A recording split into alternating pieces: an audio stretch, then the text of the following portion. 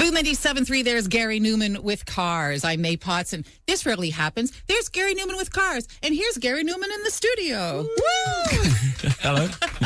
Great to have you here. Thank you very much. I'm you. very excited about this. I have to tell you a story about this song.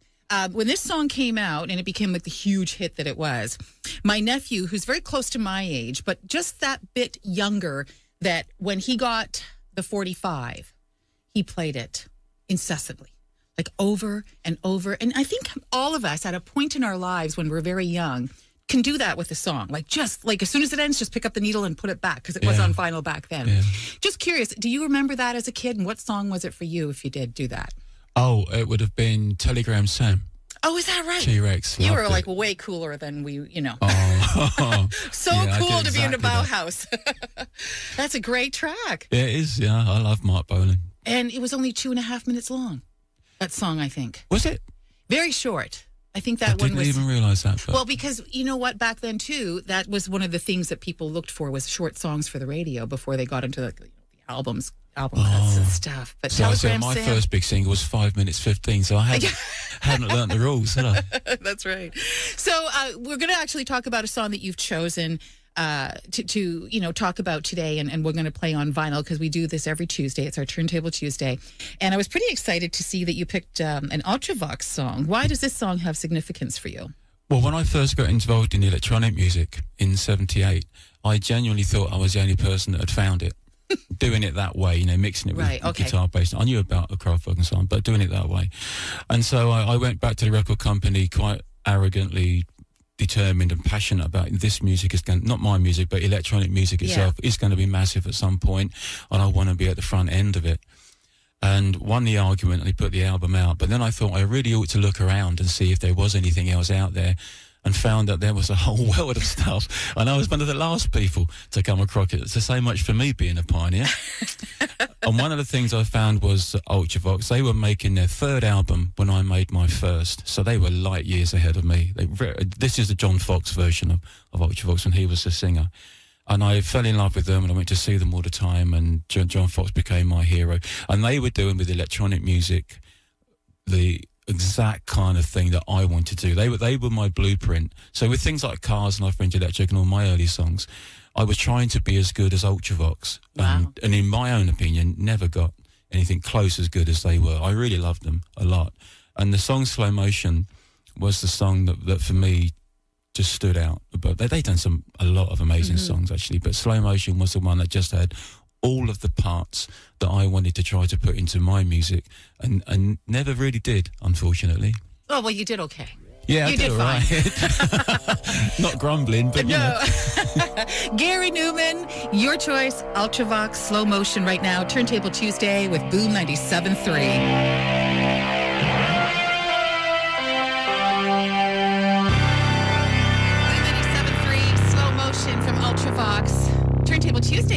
Gary Numan, who's in the studio with us right now. You know, it's interesting listening to that song and, and a lot of the stuff that goes back. And, and of course, you're going to be performing a lot of that stuff over the next few nights here in the city.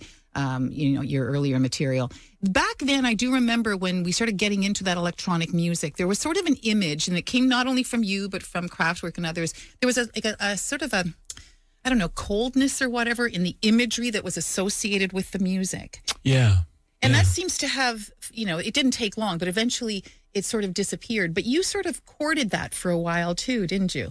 Well, the, it, it came out of me because the album that I became successful with was called Replicas, and that was started life as a series of short science fiction stories. And so the album, the songs, and the character that I'm portraying on the cover, and then took onto stage, was a character from um, the stories, and it was a machine. It was a cloned machine with a, with a human skin. So I didn't realise that I was attaching coldness to electronic music in general. Right. I just thought I was fronting my album in my own little world. But it did. It, it, it, electronic music became associated for a while with just being cold and impersonal, and, and that's really unfortunate because it's anything but that. I've always said, you, you, with a, a guitar or a piano, you accept the sound that it has. You play your melodies and you express yourself that way through the tunes and the, the playing of that instrument. With a synthesizer, or electronic music in general, you do all those things as well, but you also choose the very sound itself. So, so in my way of thinking, that makes it even more human, more personal than a conventional instrument because you don't accept the sound. You can create that as well as a melody and the tune and everything that goes with it.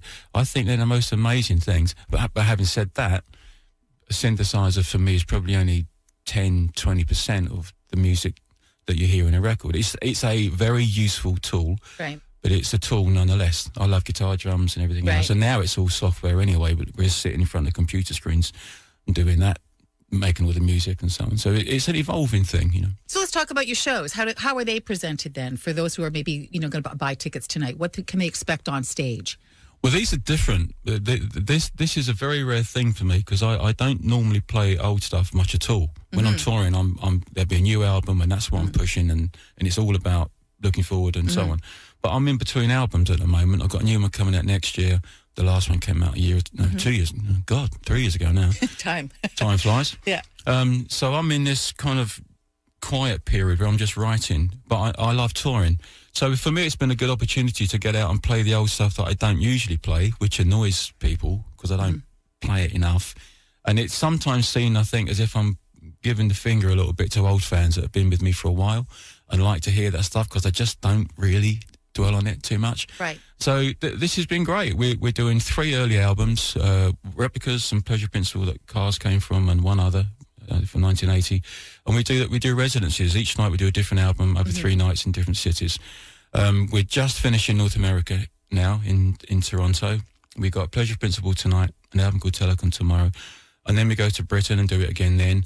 And then I won't see Nostalgia again for another well years. Right. You know, the new album will be out, and then it'll be everything will be new for the next sort of four or five years from so on. And that's the way I like it, to be honest. That's my my biggest excitement is in the new stuff always. Now, when you do, when you say you're doing an album, because Pearl Jam was doing this on their last tour too. They do an album, but they also do some other stuff. Are you doing any other stuff? Or are you being very focused on each album each night and nothing else? Uh, well, the albums are only 40, 45 minutes long so because they're old vinyl. right, right, that's true. Right. So you can throw in a few B sides, you're still Yeah. only getting up to 55 Right. minutes. So, so that's not enough. So Right. now what we do, we we do all of the album, all the B sides, and then we do another six, seven, or eight songs from other albums, but but of the other two, and I do f- throw a few in from the very first album, Mm-hmm. which is before these three that we're doing, Super, yeah. uh, and then we normally end each night with one new song Oh, okay. or, or recent song, just to remind people that that's where I'm actually interested. that's where I'm going. So uh, Gary Numan Opera House tonight, and uh, new album coming next year. or Somewhere. Uh, I'm trying to get it ready for the end of this year, Okay, but it'll good. probably be March, February, March next year. well, thanks, and thanks for coming in to chat with us for Turntable Tuesday. My and pleasure. Behind the Vinyl, we'll have that coming up fairly soon uh, to share with our listeners as well. So Yeah. thanks so much, Gary. This has been great. My pleasure. Thank you. Coming up, another 10 in a row, 70s, 80s, 90s. We've got Aerosmith to kick things off next.